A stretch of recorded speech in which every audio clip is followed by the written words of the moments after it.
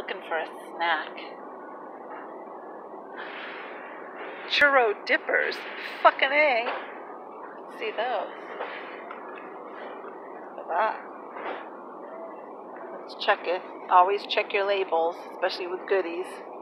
It's got chocolate. It's probably got palm oil in it. Yep, there it is. Fucking palm oil. This shit is killing the orangutans. Damn it. Fucking mini churros sounded good.